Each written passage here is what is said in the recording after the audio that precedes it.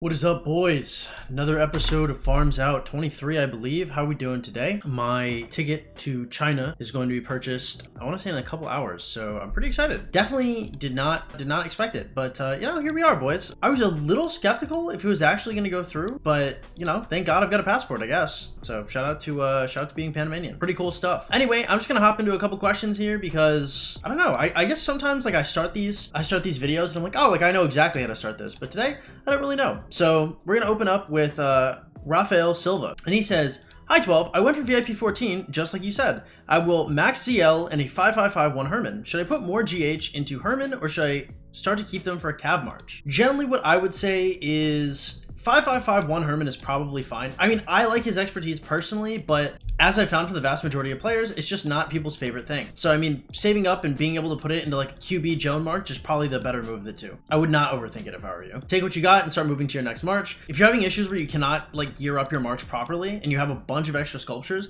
at that point, then I would consider I would consider maxing Hermann. But as long as you don't have like huge gear disparities, you should be all right. Next question is coming from Buddha 4510. Definitely a comment from a truly new player. We love new players. Welcome, welcome to Rise Kingdoms. I hope you're having a good time. Hopefully we can help you out here. Rock is definitely not for the faint of heart, especially for new players. Things can be found very overwhelming. So if you found yourself in this series, you're probably in a good spot. So over here we have, I've been starting and restarting until 200k power in two day stints of gameplay. My struggle is I started China obviously, but I do find myself not wanting to barb chain and just gather. And just gather, gather, and develop the count that way instead of farming barbarians. Is still recommended to go China and get the expedition rewards and use all barbarians? Or should I just go France or some other civ? I was thinking about starting Germany and get the free 3% training and build a great amount of gathering potential. One other thing is I don't really enjoy jumping kingdoms or sleeping the migrating of their long-term projects that guarantee stability. I would say jumping projects are absolutely crucial if you're going to start the game. You probably need to, if you haven't watched the beginner guide, you're, you're probably going to need to watch that. Not wanting to barb chain, you can make it work. It's just you'll be a more casual player, which could be okay. I would definitely start China and then I'd swap into Germany. France or some other civilization can come after your T5, but I wouldn't start with Germany because Germany will give you Hermann. The reason why you start China is not because China is some super civ, it's because it gives you Sun Tzu. And also, if other people want to help players like Here, obviously this is a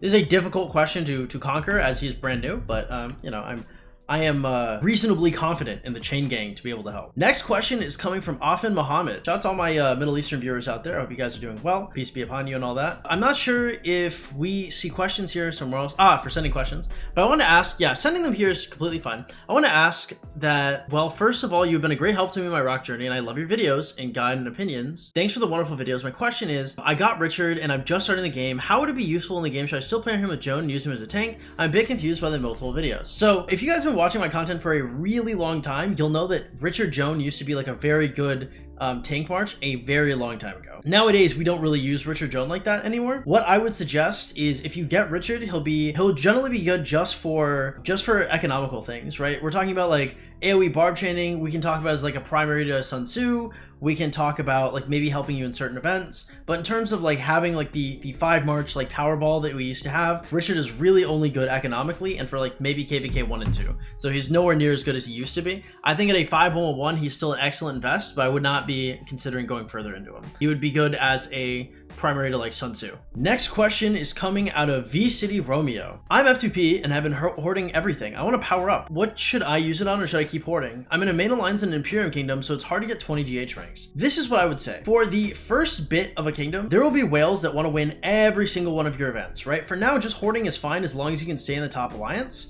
But the main thing is, is like you have to wait for times where they're going to use their speeds and not be able to recover fast. A really good example of this would be like Zenith of Power or pre-KVK, right? If you see people using years of speeds for these events, you know for sure they will not be able to compete in the next Now or Never event, the next Training Day, the next Lord of War, uh, the next Game of Power, right? Like whales will absolutely blow when it comes to Zenith of Power and pre-KVK. So during KVK is a really good time to win some of these events, especially when it comes to fighting, right? Like a whale might fight really, really, really hard, and after fighting, it might be boom, there's a Now or Never, boom, there's a Game of Power, right? And it's your job as a free-to-play player to be like, ah, this is my opportunity. I might be a little burned out from fighting, but I'm not going to forget these events. Um, if you can do that, then you'll be in a better spot and you'll be able to win some of these events, which otherwise, you know, you'd never be able to touch. Next question is coming from Mito Elush, uh, 5217. Hey 12, I'm a F2P low spender and I just skipped more than gems to do a 100 spin on eggs since I need to complete my archer set. Was it a wise move or no? I would say it wasn't. As a rule of thumb, unless you are VIP 15 already, 15 is where I'd probably stop investing in a VIP for some people. At, at VIP 15, you sit there and you think, okay, do I want to get to VIP 17 or no? And if the answer is no, then you can start to move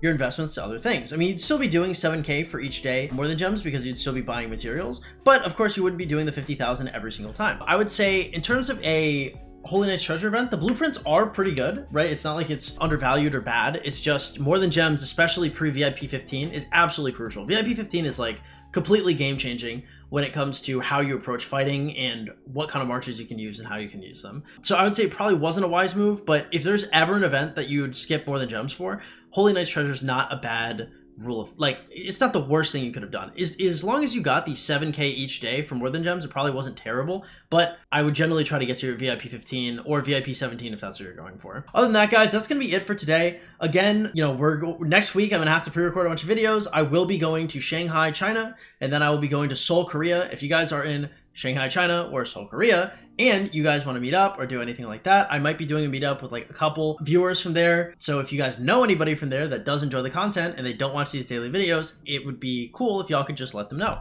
It'll be a little bit of a packed schedule for me, so I won't be able to spend a ton of time with you guys, but you know, a beer or two or uh, a soju or two with whoever I, I can find would be kind of cool. Other than that, guys, I'll catch y'all later. Have yourselves an absolutely wonderful day. If you guys want to help support the stream, please consider donating to the Streamlabs link in the description below. If you guys want coaching, remember it's 35 bucks a session for non-stream, 75 bucks a session for an off-stream. You guys go to the Discord in the description below and you make a ticket. If you guys want to help support us financially, you guys can always donate to the Streamlabs link in the description below as well. But have yourselves a great one. Thanks for the likes, the comments, the subscriptions. You guys are the whole reason why we get to go to China. You guys are the reasons why we have a job. You guys are the reasons why we are making our new computer. You guys have done everything. So thank you so much to y'all. It is truly a humbling experience being a content creator for this many years for you guys. Uh, have yourselves an absolutely wonderful one. Thank you for watching. Bye.